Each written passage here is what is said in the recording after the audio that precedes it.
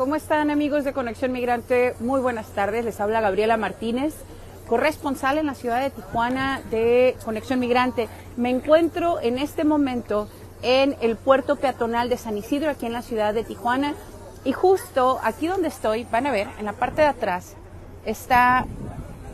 creo que en este momento estamos hablando de poco menos de 100 migrantes que empezaron a llegar desde hace cuatro días. Primero inicia con un grupo de cinco, cinco personas, unas dos familias. Conforme ha ido pasando el tiempo, van llegando cada vez más migrantes de diferentes países. Estamos viendo países latinos como Honduras, Guatemala, venezolanos, gente que también viene de Colombia, pero al mismo tiempo vemos gente que viene de, eh, de otros continentes, algunas familias rusas, algunas familias de, de Taiwán, también eh, de Irak, si es que estoy entendiendo bien, eh, porque el idioma ha sido como muy complicado. Y bueno, estoy haciendo este en vivo eh, para, para explicarles qué es lo que está pasando y por qué estas familias están regresando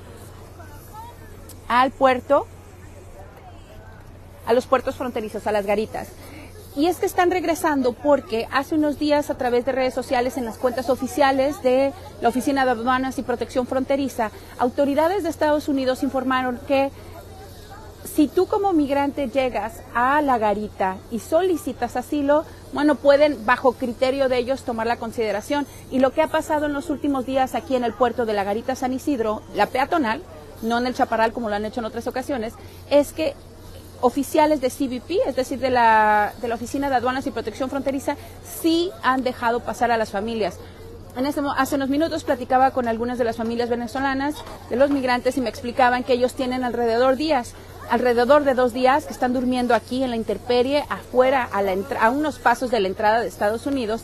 Pero antes que ellos habían otras familias que ya han tenido la oportunidad de ingresar. Me explicaban que policías municipales de aquí de la ciudad de Tijuana les están como dando un número para ser atendidos por la autoridad de Estados Unidos y conforme al número es como van a tener oportunidad de pasar. También sabemos que le están dando prioridad a las, a las familias, es decir, a las familias que vienen con niños, hay bastantes niños, ahorita los van a ver, les voy a poner las imágenes, también a mujeres que vienen con sus hijos, ellos son como prioridad para el gobierno, son los que van a entrar primero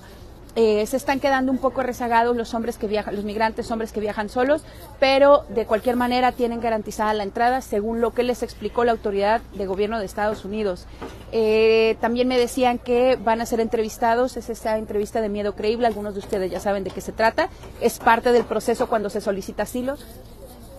Y bueno, entonces, hasta donde entendemos en este momento son dos maneras para solicitar asilo. La primera es la que ya sabemos y que el gobierno de Estados Unidos se ha encargado de informar a través de diferentes plataformas, es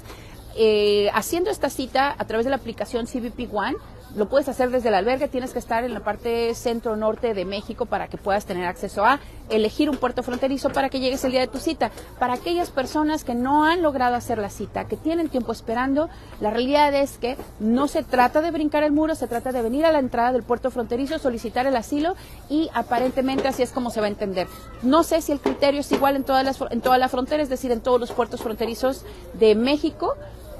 Sé que en Matamoros lo estuvieron haciendo, sé que a partir del fin de semana pasado lo comenzaron a hacer aquí en el puerto fronterizo de San Isidro en la ciudad de Tijuana. Em, van a ver, eh, hablamos de setenta y tantas personas según el último conteo que, que realizaron los policías. Todo,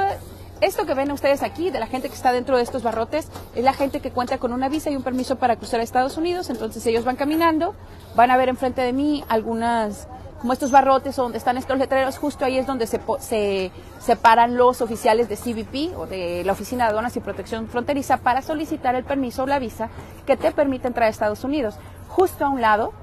es donde están las familias, que son todas las que están del lado derecho. Vemos que hay familia de Haití,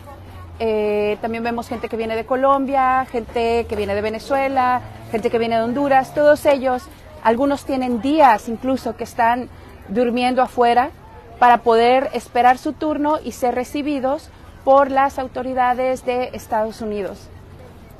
Hasta hace unos momentos, el día de hoy, la alcaldía